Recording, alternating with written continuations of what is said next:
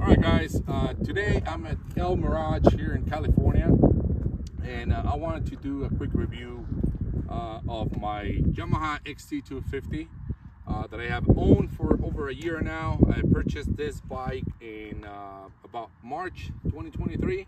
This is the 2023 model, and uh, I just want to talk about the things that I like and the things that I don't like so much about this bike and how capable this bike is and um, that's pretty much it. All right let's get to it.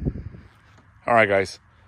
I'm going to start talking about the things that i like about this bike and why i decided to go with this uh, particular model okay? I did my homework. I was uh, you know i went to different dealerships. And at the end i um, i decided to go with this one. And at the end i was in between this one and the DRZ 400 okay um, pretty much the main reason why I decided to go with this one is two reasons. This one has uh, is fuel injected. Uh, this is a 2023 uh, model, fuel injected. And number two, and probably the most important uh, to me, uh, is the seat height. You know, this is the seat height, or this bike has the lowest seat bike. Um, oh, I'm sorry, the lowest uh, seat height out of all bikes on this segment, you know, on the 300, 200 um, cc's. Um, I believe it's at 32.9 uh, inches tall. I am six feet tall, about 250 pounds and um, uh, 245 pounds. And, you know, but I have short legs. So this one is just perfect for me. You know, when I try to keep my leg over the DRZ 400, I struggle a little bit. And, you know, I, I, eventually I might end up getting one of those too. You know, I love the, the, the way those, those bikes look, um, which is main reason why I decided to go with this one as well, because I love the rounded headlight. You know, I love how this bike looks, you know, how slim it is. Um, you know, I love the double fenders, the double front fenders, uh, rounded headlight, and how simple this bike is. I know some bikes, you know, they have some other features like ABS, like the KLX 300 uh, or the CRF 300. I believe they come with uh, ABS. This one is just, you know, pretty simple. It's a pretty simple bike. And I love it. I love it. I like the way it looks, uh, how light it is, how nimble it is. This bike really feels so light when you're riding. Um, you know, especially in, in hard terrain. It's really easy, really easy. This thing can climb anything, you know. This is a little goat, you know, a little tractor. It's not super fast, but to me, the power that it has is adequate to do the stuff that I that I like doing.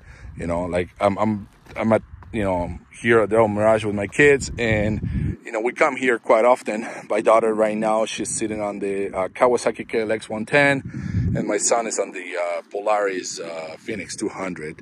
Uh, great bikes, but you know, I wanted to get something where, you know, it's not too powerful where they have to, you know, they're going to be struggling keeping up with me. Uh, for those of you that are familiar with my channel, I had a uh, Yamaha YFZ 450 uh, before this bike and it was always a challenge for my kids to keep up with my bike with my speeds and you know it's it's honestly to me it's it's uh, it's more fun to ride a, a, slow bike fast than riding a fast bike slow.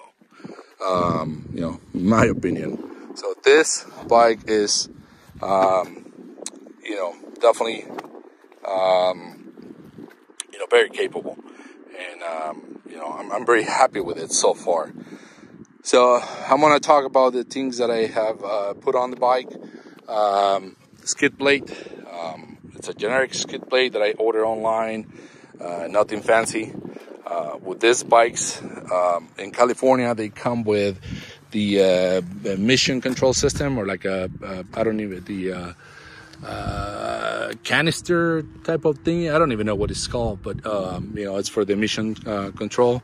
And you know, it's hard to find that the skid plate that that fits right there without making you know major cuts or modifications to the skid plate so i came across this one uh, pulled the trigger it was like about a you know, about a hundred bucks.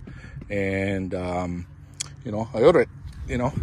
The other thing that I put on this thing is, um, the handguard or bark busters, uh, whatever you want to call them. Um, this one already took a hit. Uh, I was riding with my kids um, in the loose sand and it just, I dropped the bike and took a hit. Nothing happened to it. Levers is fine. Uh, so it did its job. So, uh, and this, the um, bar risers, that is a must, honestly, in my opinion, especially if you're riding off road. Um, uh, the, the bike, you know, without this, the bars are like really low, about like two inches lower. And when you're standing, it's really hard, uh, really hard for you to uh, maneuver the bike. So that, in my opinion, is is a must. Okay, and um, now uh, I'm gonna talk about the things that I don't like about this bike. So so far, it has uh, I have put in uh, about 1600 miles on it, you know. And uh, one of the things that I don't like about this bike, definitely, and it's probably one of the uh, major complaints that people has on these bikes, is the the uh, foot pegs. So these are super tiny, so I need to order new ones for sure.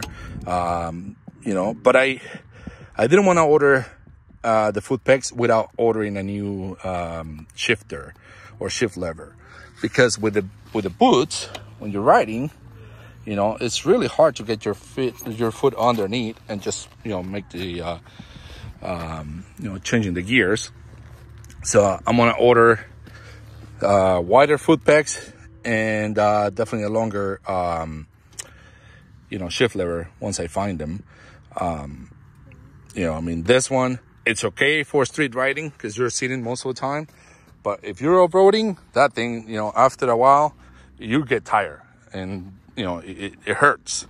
So, um, what else I don't like about this bike? Oh, uh, the uh, speedometer. So definitely these bikes come with a 15 um, front sprocket, 15 tooth, and that makes the um, the speedometer not being accurate. So it's usually about, I would say between six and 10 miles per hour different. Um, so that's one of the things that is kind of annoying, but I already get used to it. So I'm definitely going to change the uh, the front sprocket to a 16 tooth sprocket. I, I, I, check on different blocks and that's what they recommend to make it more accurate. And also you get more power on the top end. Uh, you lose some on the lower end, uh, but it's okay. I think the, the bike is very capable uh, as it is. Um, I don't know why the dealership or Yamaha doesn't, you know, put a 16 tooth uh, sprocket, knowing that this bike is is not accurate, um, or at least the speedometer is not accurate. Um, and uh, so that's another thing that I don't like, you know, the speedometer, foot pegs, and what else? I'm just going around this bike just to um, remember things that I don't like. Um, oh, um, the rear suspension.